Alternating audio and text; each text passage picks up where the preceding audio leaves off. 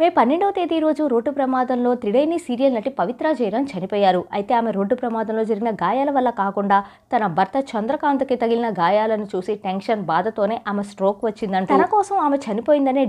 కి గురైన ఆయన కూడా ఉరివేసుకుని మరీ ఆత్మహత్యకు పాల్పడ్డాడు అయితే ఆయన చనిపోయిన తర్వాతే వీళ్ళ బంధం గురించి అసలు విషయాలు వెలుగులోకి వచ్చాయి పవిత్రకి చంద్రకాంత్కి గతంలోనే పెళ్ళయి ఇద్దరు పిల్లలు కూడా ఉన్నప్పటికీ త్రినైని సీరియల్ సెట్స్ లో ఏర్పడిన పరిచయం వీరిద్దరిని కలిపింది ప్రతిరోజు సోషల్ మీడియాలో కలిసి రీల్స్ చేస్తూ పోస్ట్ చేసేవారు కానీ పెళ్లి చేసుకున్న విషయం మాత్రం రివీల్ చేయలేదు హైట్ చేసి ఉంచారు వీళ్ళిద్దరూ విడాకులు ఇవ్వకుండానే తమ రెండు ఫ్యామిలీస్ కి అన్యాయం చేశారని ఆవేదన వ్యక్తం చేస్తూ ముఖ్యంగా చిన్న పిల్లలను ఇద్దరిని వదిలిపెట్టి చందు చాలా తప్పు చేశాడంటూ నెటిజన్స్ కామెంట్స్ చేస్తున్నారు ఇలా ఇరవై ఒకటి నుంచి వీళ్ళిద్దరి మధ్య ప్రేమ మొదలైనట్టుగా తెలుస్తోంది అయితే వీళ్ళిద్దరూ చనిపోక ముందు రీసెంట్ గా ఒక పబ్ లో ఎంజాయ్ చేస్తున్న ఒక వీడియో బయటికి వచ్చింది ఆ వీడియో చూసిన వాళ్ళంతా వీరిద్దరూ అయితే ఎంజాయ్ చేశారు కానీ వీళ్ళ పిల్లలకు మాత్రం అన్యాయం జరిగింది అంటూ అందుకే వాళ్ళ ఉసిరే తగిలి ఇలా జరిగింది అంటూ రకరకాలుగా కామెంట్స్ చేస్తున్నారు నెటిజన్స్ ప్రస్తుతం కోసం పబ్బులో పవిత్ర జయరం చంద్రకాంత్ కలిసి డ్యాన్స్ చేస్తున్న ఒక వీడియో నెట్టింటా బాగా హల్చల్ చేస్తుంది ఆ వీడియోని మనం ఈ వీడియోలో చూసేద్దాం